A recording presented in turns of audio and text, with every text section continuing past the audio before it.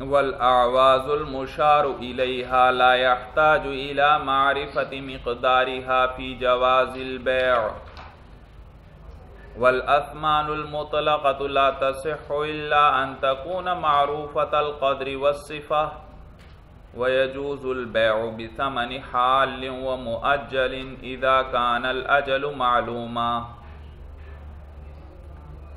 بیع کے بارے میں آپ نے پڑھ لیا بھائی. کہ بیع کس سے منعقد ہوتی ہے؟ ایجاب اور قبول سے منعقد ہوتی ہے، ایجاب اور قبول۔ یہ قولی بیع تھی قول کے ذریعے مولانا۔ اور میں نے بتایا تھا، جیسی ایجاب و قبول ہوتا ہے، بیع ہو گئی مولانا۔ بس، اب مبیع کا مالک کون بن گیا؟ مشتری مالک بن گیا فوراً۔ اب وہ کہے، نہیں، میں نہیں لینا چاہتا۔ نہیں بھائی، بس بیع ہو چکی ہے شرعن اب آپ کو کیا کرنا پڑے گا؟ لینا پڑے گا۔ اور میں نے آپ کو بتلایا تھا ایک عملی بیع بھی ہے۔ ہم عموماً جو بیوع کرتے ہیں وہ تقریباً اکثر ساری کی ساری تقریباً وہ بیع تعاتی ہیں، عملی بیع مولانا جس میں کیا ہے؟ ایجاب و قبول نہیں ہوتا مولانا۔ سورج سمجھ میں؟ آپ بازار وغیرہ بھی جاتے ہیں، آپ خود دیکھ لیں۔ ایجاب و قبول نہیں ہوتا۔ چیز لیتے ہیں، پیسے دیتے ہیں اور اٹھا کر لے آتے ہیں۔ سمجھ میں آیا؟ اگر بحث بھی کر لی، پیسوں پہ بحث کر لیتے ہیں، لیکن ایجاب و قبول ہوتا ہے باقاعدہ پھر۔ پیسے مقرر ہو گئے، اس نے کہا تھا تین سو، آپ نے کہا نہیں، ڈھائی سو، دو یا سوا دو سو میں دو بحث ہوتے ہوتے اس نے آپ کو دو سو پچاس میں دے دی مولانا۔ بس آپ دو سو پچاس نکال کے اس کو دیتے ہیں، چیز اٹھا کے لے آتے ہیں۔ کوئی ایجاب ہوا؟ میں نے آپ کو یہ چیز ڈھائی سو میں بیچ دی۔ آپ نے کہا میں نے آپ سے یہ چیز ڈھائی سو میں خرید لی۔ ایجاب و قبول ہوتا ہے؟ نہیں ہوتا۔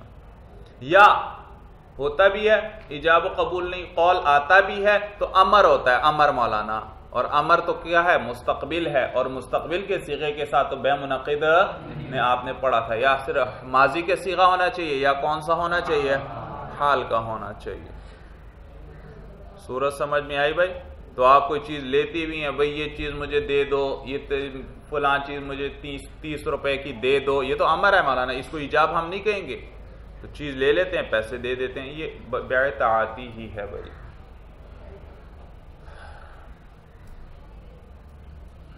اچھا۔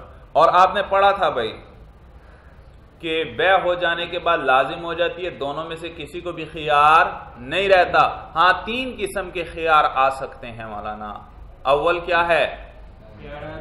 خیار عیب۔ دوسرا، خیار رویت تیسرا خیار شرط خیار شرط بھائی، سمجھ میں؟ ان کے آگے باقاعدہ باپ بھی آنے والے ہیں بھائی۔ خیار شرط کس کو کہتے ہیں؟ کہ بائے یا مشتری میں سے کوئی ایک بے کو فسخ کرنے کا اختیار رکھ لیتا ہے۔ کہتا ہے، بھائی، میں یہ کتاب میں نے آپ سے تیس روپے میں خرید لی، لیکن مجھے اختیار ہے، میں تین دن میں فسخ کرنا چاہوں تو بے کو فسخ ایک دن میں فسخ کرنا چاہوں تو فسخ زیادہ سے زیادہ تین دن تک ہو سکتا ہے۔ اس سے کم جتنا مرضی رکھ لیں، ایک گھنٹے کا رکھ لیں۔ میں چاہوں تو ایک گھنٹے تک اس بے کو کیا کر سکتا ہوں؟ یہ کیا کہلاتا ہے؟ خیار شرط کہلاتا ہے۔ سمجھ میں آیا؟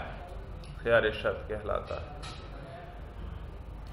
لیکن یہ طے کرنا پڑتا ہے۔ یہ بائے بھی رکھ سکتا ہے، مشتری بھی اپنے پاس یہ خیال رکھ سکتا ہے۔ جو رکھے گا، اس کو یہ خیال حاصل ہو جائے گا، اتنی ہی مدت تک کے لیے۔ اور جبکہ دو اور خیار ہیں مولانا، ایک خیار عیب اور ایک خیار رویت۔ یہ خود بخود آئیں گی، ان کو ذکر کرنے کی ضرورت نہیں۔ ہاں اگر چیز آپ نے پہلے بھی دیکھی ہے، بے کے وقت دیکھ لی یا پہلے ایک آدھ دن پہلے دیکھ لی، اس میں کوئی تبدیلی نہیں ہوئی۔ اب خرید رہے ہیں تو اب خیار رویت نہیں ہے۔ آپ یہ نہیں کہہ سکتے، بھائی جس وقت خرید رہے تھے، میں نے اس وقت نہیں دیکھی، میں نے تو کل دیکھی تھی۔ سمجھ میں آیا؟ خیار رویت نہیں۔ ہاں اگر اس چیز کی حالت تبدیل ہو چکی ہے اب پھر خیار رویت حاصل ہو جائے گا۔ سورج سمجھ میں آئی؟ اگر وہ اسی حالت پر برقرار ہے وہ تو اب کل دیکھ چکے تھے۔ آج اور کل میں کوئی تبدیلی آئی اس کے اندر؟ کوئی تبدیلی نہیں آئے گی اب کوئی خیال نہیں خیار رویت نہیں ہے۔ خیار رویت تو کیا تھا؟ کہ آپ نے ایک چیز دیکھی نہیں بغیر دیکھے خرید رہے اور یہ تو آپ کیا کر چکے تھے۔ دیکھ چکے تھے تو خیار رویت نہیں۔ اور ایک خیار عیب بھائی تو خیار عیب کوئی چیز خریدتے ہیں، آپ کو بعد میں عیب کا پتہ چلتا ہے۔ تو شریعت نے خیار دیا۔ آپ چاہیں تو بے کو کیا کر سکتے ہیں؟ بس ختم کر۔ چیز واپس لوٹا دی پیسے واپس لے لیے۔ خیار ہاں اس میں بھی میں نے بتایا تھا، خیار عیب بھی ختم ہو سکتا ہے۔ ایک صورت میں جبکہ وہ بیچنے والا کیا کہے؟ یہ چیز میں اس میں کسی عیب کا ذمہ دار نہیں ہوں۔ میں ہر عیب سے بری ہوں۔ بس مولانا، اب خیار عیب بھی کیا ہو گیا؟ ختم ہو گیا۔ تو تین اویو، تین خیار حاصل ہوتے تھے، خیار شرط خیار عیب، خیار صاحب قدوری نے صرف دو ذکر کیے ایک خیار عیب ایک خیار کیوں؟ اس لیے کہ یہ دونوں خود بخود آ جاتے ہیں، جبکہ خیار شرط کو تو باقاعدہ کیا کرنا پڑتا ہے؟ ذکر کرنا پڑتا ہے۔ تو یہ خود بخود آتے ہیں، ہر بے کے اندر، اس لیے ان دو کو ذکر کیا۔ تو کہتے ہیں والاعواز المشار الیہا لا يحتاج الى معرفت مقدارها فی جواز البیع اچھا بھائی، یہاں سے اب یاد رکھو، مبیع اور سمن کے احکام بیان کرنے لگے ہیں۔ بے کی تاریخ بتلا دی۔ بتلا دیا بے کب لازم ہو جاتی ہے؟ اور جب لازم ہو جائے، اس کے بعد کسی کو کوئی خیار؟ سوائے دو تین خیاروں کے۔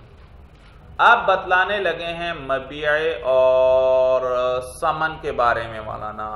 مبیع اور سمن بھائی تو سب سے پہلے ایک مشترکہ حکم بیان کر دیے دونوں کے لیے۔ اس کے بعد سمن کے احکام بیان ہوں گے، پھر مبیع کے احکام بیان ہوں گے۔ بھائی، اب کن کے احکام بیان کرنے لگے ہیں؟ سمن اور مبیع کے۔ پہلے ایک حکم ایسا بیان کریں گے جو سمن کا بھی وہی حکم ہے، مبیع کا بھی اس کے بعد پھر سمن کو حکم کیا کریں گے؟ پہلے ذکر کر دیں گے اور اس کے بعد پھر کس کے احکام بیان کریں گے؟ مبیع کے احکام بیان کریں گے۔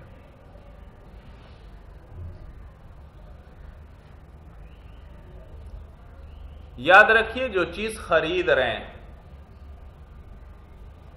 اس کی تعین ضروری ہے بھائی۔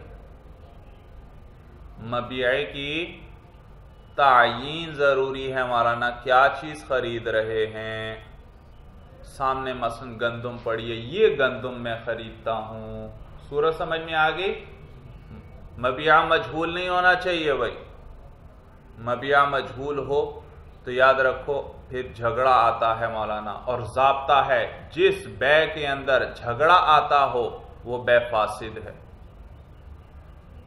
جس بے کے اندر کیا آئے؟ جھگڑا آئے، وہ بے فاسد ہے۔ مبیہ مجھول ہے مولانا، آپ اس سے کہتے ہیں، بھائی میں نے سو روپے میں کوئی چیز آپ سے خرید لی۔ وہ کہتے ہیں ہاں میں نے آپ کو سو روپے میں کوئی چیز بیچ دی۔ اب بعد میں آپ کو وہ کہتا ہے، لو بھائی، وہ سو روپے میں کتاب لے لو۔ آپ کہیں گے، نہیں نہیں، کوئی چیز کی بات ہوئی تھی، کتاب کی بات نہیں ہوئی تھی، موبائل میرے حوالے کرو بھائی۔ جھگڑا آیا یا نہیں آیا؟ تو مبیہ متعین ہونا چاہیے تاکہ جھگڑا نہ آئے بھائی۔ سورج سمجھ میں آ گئی بھائی؟ مبیہ تو یا اور ذکر سمن بھی، تو بے کے اندر مبیع کی تعین بھی ضروری اور سمن کا ذکر بھی ضروری۔ سمن کیا ہے مولانا؟ آپ کوئی چیز خرید رہے ہیں؟ کیا دیں گے عوض میں بدلے میں؟ روپے دیں گے، ڈالر دیں گے، پونڈ دیں گے، کیا چیز دیں گے اور کتنے دیں گے؟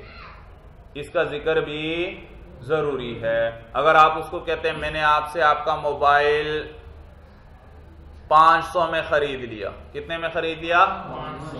پانچ سو میں خرید لیا۔ اس نے بھی ایجاب قبول کر لیا مولانا۔ اب آپ اس کو پانچ سو روپے دے رہے ہیں۔ وہ کہتے ہیں، نہیں، میں نے پانچ سو روپے نہیں، میں نے تو ڈالر کی بات کی تھی۔ لاؤ پانچ سو ڈالر۔ روپے کب نام لیا؟ آپ نے لیا تھا نام روپے کا۔ آپ نے صرف پانچ سو کا تھا۔ سمجھ میں آیا؟ تو صفت کا بھی ذکر ہونا ضروری، کیا چیز ہے؟ اور مقدار بھی ذکر ہونا ضروری۔ آپ اس کو کہتے ہیں، میں نے آپ سے آپ کا موبائل روپوں میں خرید لیا، یا یوں کہ ڈالروں میں خرید لیا بھائی۔ اب آپ جتنے بھی ڈالر دیں گے، جتنے بھی روپے دیں گے، وہ کہیں گے نہیں بھائی، اتنے کا ذکر ہوا تھا، صرف روپوں کا ذکر ہوا تھا۔ آپ پانچ سو دے رہے ہیں، وہ کہتے ہیں، نہیں، پانچ ہزار دو۔ تو جھگڑا آئے گا۔ تو لہٰذا یاد رکھو، بیع کے اندر تعین مبیعہ ضروری ہے اور ذکر سمنا ضروری ہے۔ اب یہاں سے ایک اہم ضابطہ بتلا رہے ہیں سمن اور مبیعے کا۔ بھائی یہ جو تعین اور ذکر وغیرہ ہم مبیع اور سمن کا کرتے ہیں، کس لیے کرتے ہیں؟ تاکہ کسی قسم کا اشتباہ نہ رہے بعد میں۔ کسی قسم کا پھر جھگڑا نہ آئے، التباس نہ آئے، تو اس کے صفت ذکر کی جاتی ہے، بھائی فلاں کرنسی ہے اور اتنی مقدار میں ہے، اس کے بدلے میں یہ چیز میں آپ سے خریدتا ہوں۔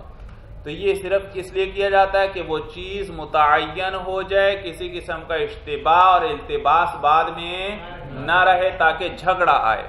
اب ایک چیز سامنے پڑی ہے، مثلا گندم کا ڈھیر پڑا ہوا ہے آپ نے اپنے ساتھی سے کہا، یہ جو گندم کا ڈھیر ہے، میں نے آپ کو ایک ہزار روپے میں فروخت کر دیا۔ اب کتنی گندم ہے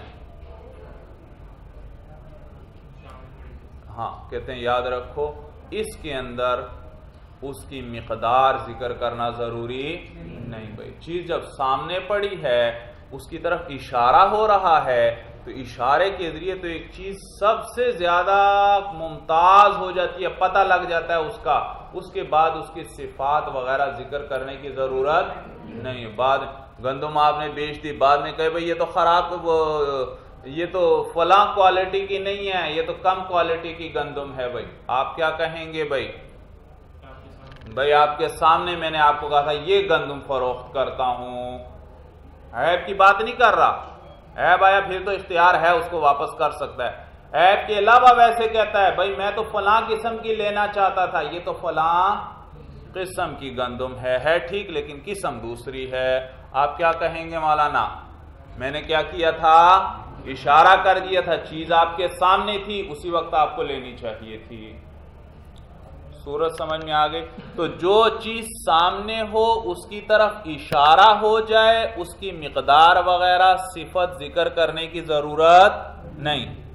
بھائی، آپ نے اپنے سامنے یہ پیسے رکھے ہوئے مولانا۔ یہ سمن ہے یہ کیا ہے سمن۔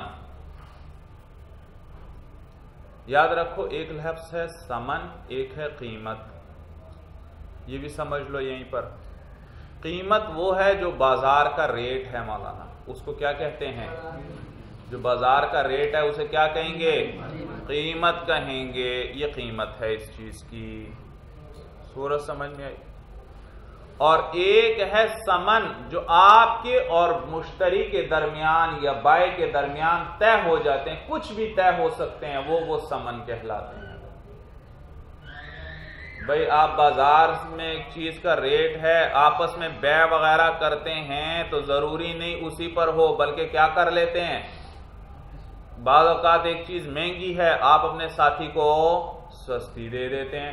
تو یہ جو پیسے مقرر ہوئے آپس میں باہمی رضامندی سے، یہ کیا کہلاتے ہیں؟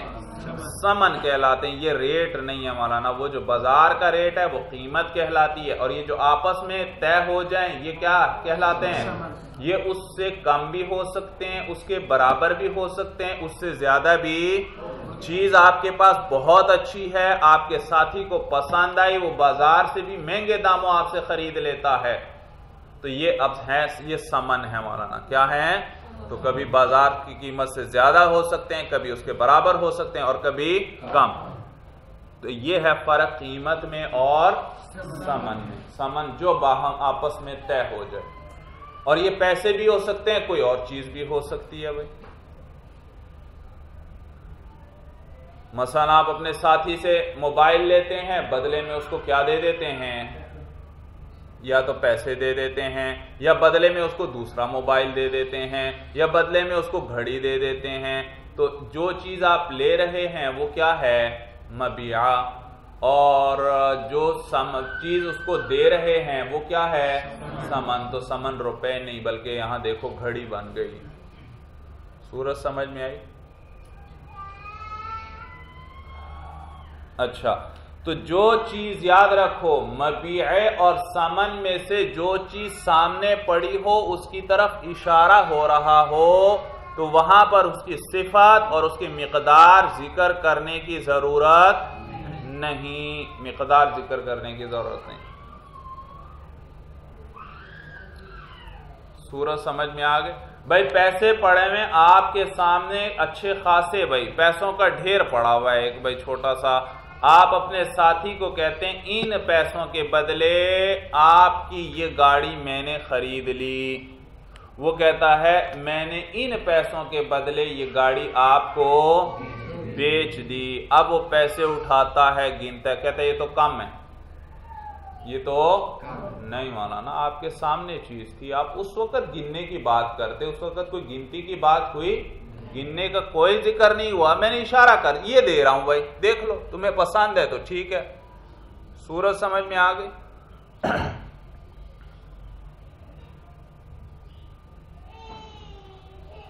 تو جس، بھائی، مبیعہ یا سمن جب وہ مشارن الہ ہوں یعنی سامنے موجود ہیں، ان کی طرف اشارہ ہو رہا ہے، تو ان کی مقدار ذکر کرنے کی ضرورت ہے۔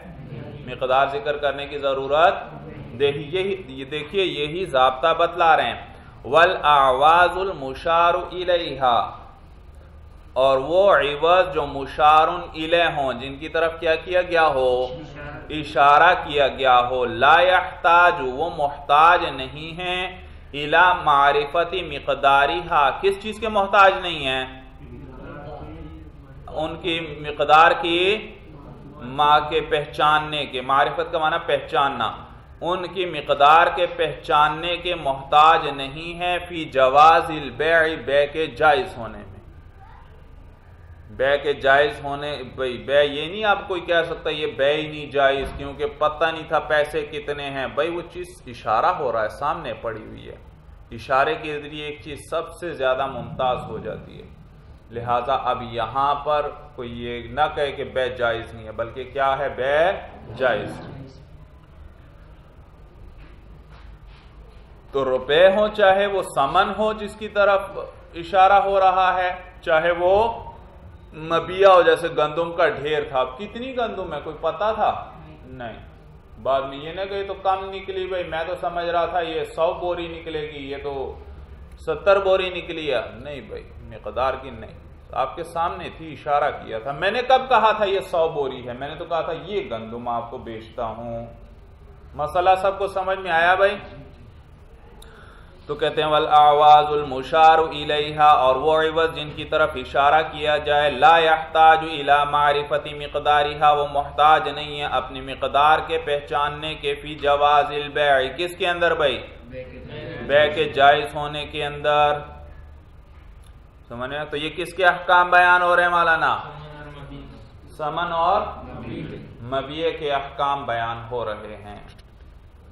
اور یہ جو پہلا حکم بیان ہوا، یہ کس کا ہے؟ مبیے کا ہے یا سمن کا ہے یا دونوں کا ہے؟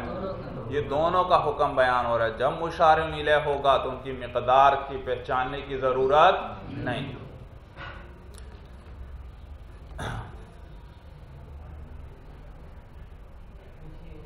تو سمن اور مبیع یاد رکھیے رکھو، کئی احکام میں مختلف ہیں۔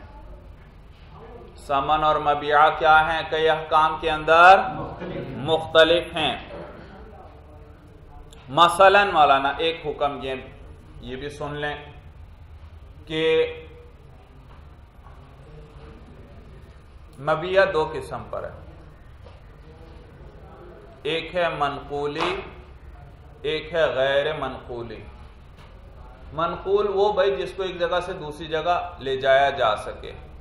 نقل کیا جا سکے، منتقل کیا جا سکے۔ اور غیر منقولی جس کو ایک جگہ سے دوسری جگہ منتقل نہ کیا جا مثلا کھیت ہے۔ کھیت کو ایک جگہ سے دوسری جگہ نقل کیا جا سکتا ہے؟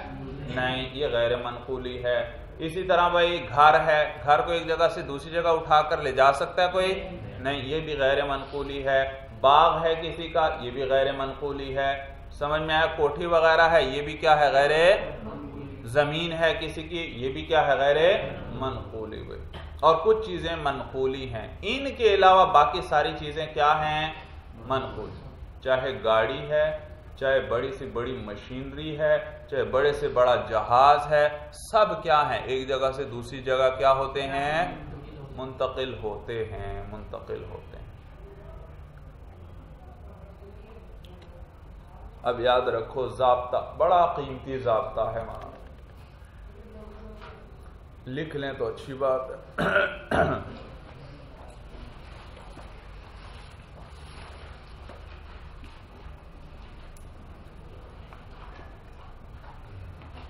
مبیع منقولی میں قبل القبض تصرف جائز نہیں۔ مبیع منقولی منقولی میں قبل القبض تصرف جائز نہیں۔ کیا لکھا ہے؟ مبیع منقولی میں قبل القبض۔ قبضہ نہیں ہوتا بھائی، قبل القبض۔ قاف دو نقطوں والا، با اور زواد مبیع منقولی میں قبل القبض تصرف تصرف سواد کے ساتھ ہے، تصرف جائز نہیں۔ جبکہ سمن میں قبل القبض تصرف جائز ہے۔ جبکہ سمن میں قبل القبض تصرف جائز ہے۔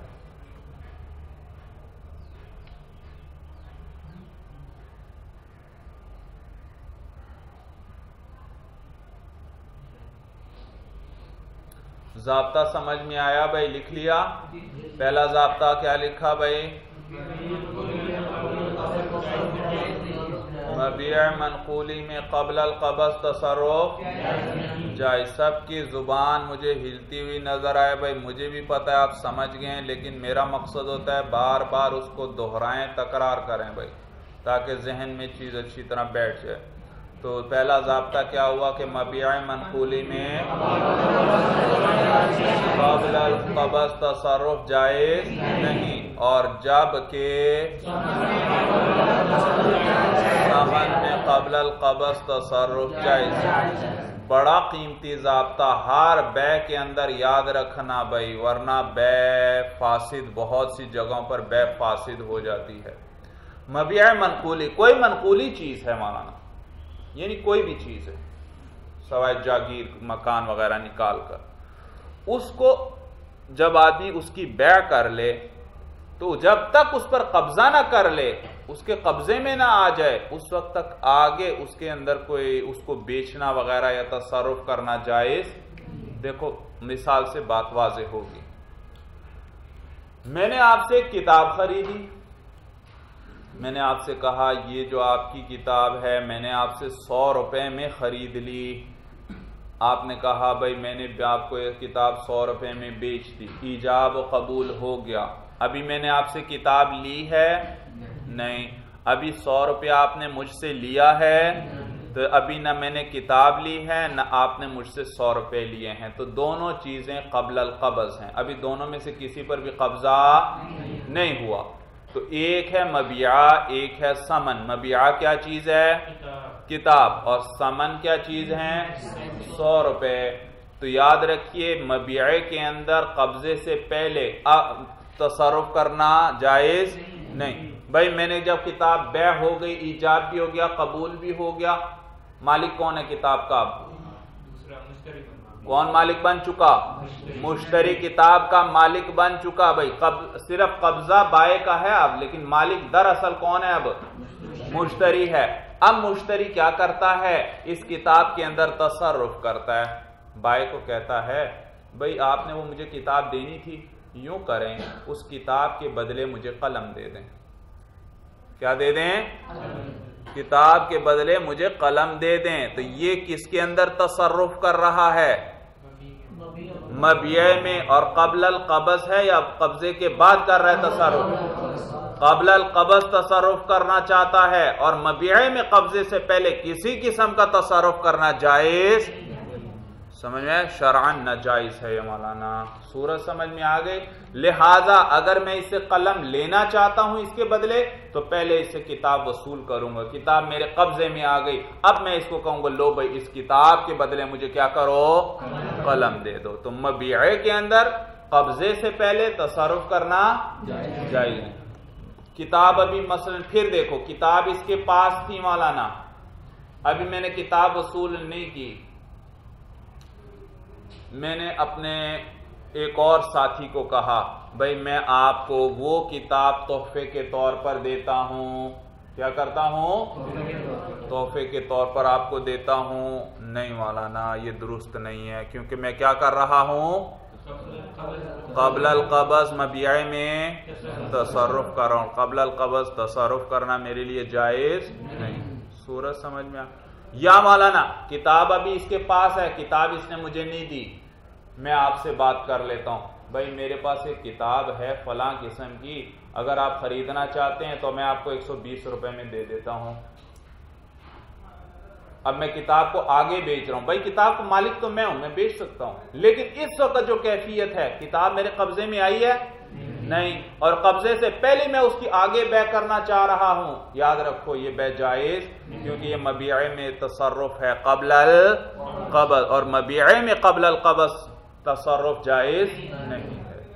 جبکہ اس کے مقابلے میں سمن میں قبل القبض تصرف جائز۔ میں نے کتنے پیسے آپ کے دینے تھے؟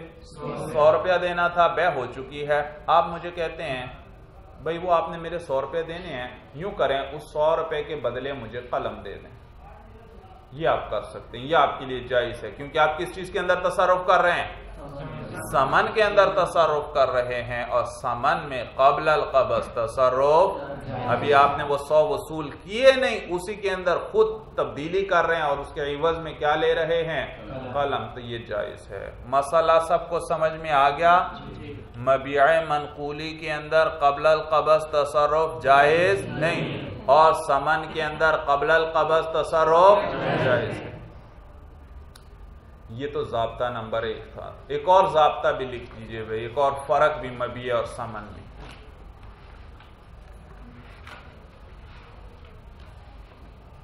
مبیع ہلاک ہو جائے تو بے ہی فسخ ہو جاتی ہے۔ مبیع ہلاک ہو جائے تو بے ہی فسخ ہو جاتی ہے۔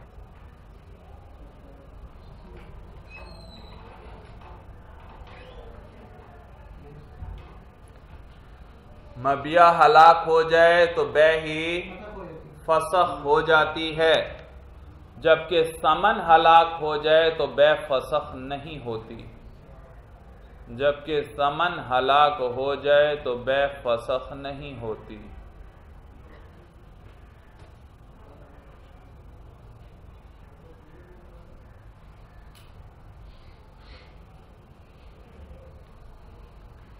بلکہ سمن ذمہ میں باقی رہیں گے۔ بلکہ سمن ذمہ میں باقی رہیں گے۔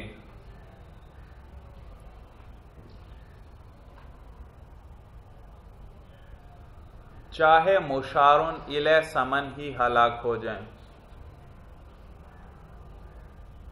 چاہے مشارن الہ سمن ہی ہلاک ہو جائیں۔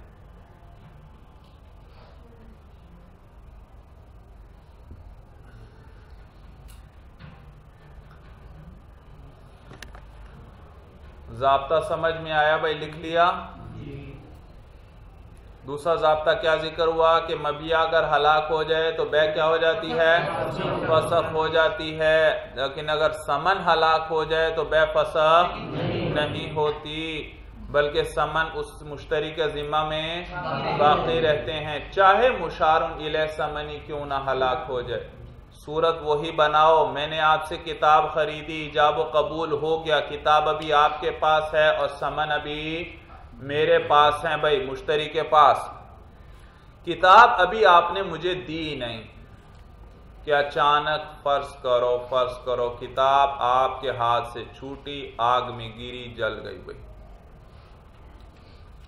بس مولانا، بے ہی کیا ہو گئی؟ فسخ ہو، کیونکہ مبیہ ہی نہ رہا مبیہ ہلاک ہو گیا۔ بے کی ہی کس چیز کی تھی میں نے؟ کتاب کی۔ اور اب اس کتاب کا وجود رہا تو مبیہ ہلاک ہوا تو بے بھی کیا ہو گئی؟ فسخ ہو گئی۔ سورج سمجھ میں آ لیکن اگر سمن ہلاک ہو جائیں تو بے فسخ نہیں۔ میں نے بھائی اس کو دینے کے لیے جیب سے سو روپیہ نکالا۔ ابھی میں نے اس کو دیا نہیں۔ اچانک ایک آدمی نے کیا کیا؟ ہاتھ مارا چھینے۔ اور اٹھا کر فوراً دریا میں پھینک دیے، یا میرے ہاتھ سے گرے وہ نوٹ ہاتھ سے چھوٹا، ہوا سے ایک دم آگ میں گرا اور جل گیا۔ سمن کیا ہوئے مولانا؟ ہلاک ہوئے۔ لیکن کیا بے فسخ ہوگی؟ نہیں مولانا۔ اس اس نوٹ کے لیے بے ہوئی تھی۔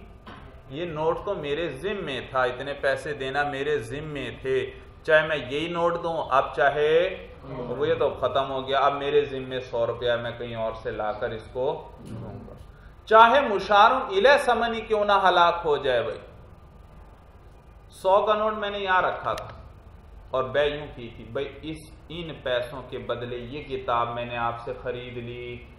انہوں نے کہا بھائی ان پیسوں کے بدلے یہ کتاب میں نے آپ کو بیچ دی۔ اچھا۔ تو آپ دیکھیے سمن مشار نیلے ہے، میں نے اس کی طرف باقاعدہ اشارہ کیا ہے۔ لیکن یاد رکھو، سمن تعین سے متعین نہیں ہوتے۔ اب یہ نوٹ بھی چاہے جل جائے، کوئی حرج نہیں والا نا۔ مجھے، مجھ پر بے، پھر بھی فسخ نہیں ہوگی، بلکہ میرے ذمہ کیا ہوگا؟ سو روپیہ میں لا کر دوں۔ سورج سمجھ میں آ گئی؟ تو مبیا ہلاک ہو جائے تو بے کیا ہو جاتی ہے؟ فسخ کیونکہ بے ہوئی ہی اسی چیز کے لیے تھی، وہ چیز ہی نہ رہی، تو بے کس چیز پر ہو؟ اور سمن ہلاک ہو جائے تو بے فسخ بلکہ وہ اس کے ذمہ میں رہیں گے۔ چاہے مشار نیلے سمن ہی کیوں نہ ہلاک ہو جائے۔ چلیے مولانا هذا هو المرام والله اعلم بحقیقت الکلام۔